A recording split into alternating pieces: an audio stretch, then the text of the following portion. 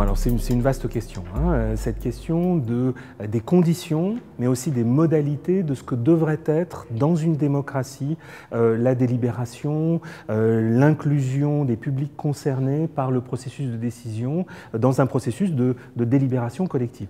Alors il y a des conditions qui me paraissent très importantes. Une première condition, c'est qu'effectivement cette délibération, elle ait la possibilité d'influencer la décision. C'est-à-dire que les autorités politiques s'engagent à tenir compte, alors, ne s'engage pas à suivre euh, euh, purement et simplement, sinon ce ne serait plus la peine de les élire, mais à, suivre cette délibération. Donc il y a une crédibilité de la délibération euh, qui importe parce que les gens ne participeront pas s'ils n'ont pas le sentiment que ça peut servir à quelque chose. Puis le deuxième élément qui est très important, c'est qu'il faut se saisir d'outils, d'une forme d'ingénierie de la démocratie qui est, qui est assez complexe, c'est-à-dire faire parler des gens, faire réfléchir des gens, organiser, animer un débat.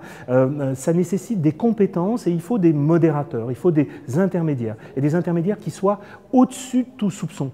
Euh, en France, on a la chance euh, d'avoir la Commission nationale du débat public, on a la chance aussi d'avoir le, CESE euh, d'un certain point de vue, qui sont des institutions qui ont développé ce type de compétences. Il ne suffit pas de mettre des gens dans une salle pour que les gens délibèrent. Euh, il ne s'agit pas de mettre une plateforme, il ne suffit pas de mettre une plateforme numérique pour que les gens euh, structurent euh, leur opinion et construisent une forme de débat, construisent des accords ou construisent des désaccords. Tout ça, ça demande beaucoup d'attention aux détails, à la technicité et aux conditions procédurales et formelles du débat.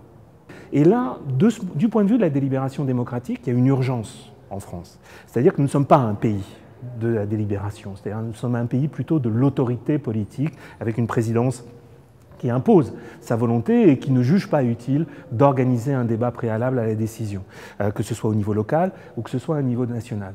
Et si nous ne saisissons pas le moment présent, le moment de crise présente, pour euh, euh, mettre en place un processus de réflexivité collective où tout le monde est amené non seulement à faire part de son expérience, mais aussi à contribuer au débat public, si nous ne saisissons pas cette chance là maintenant d'une vraie délibération, d'un vrai grand débat national qui ne pas biaisé, là je crains que nous ayons toute chance d'aller directement vers un régime autoritaire.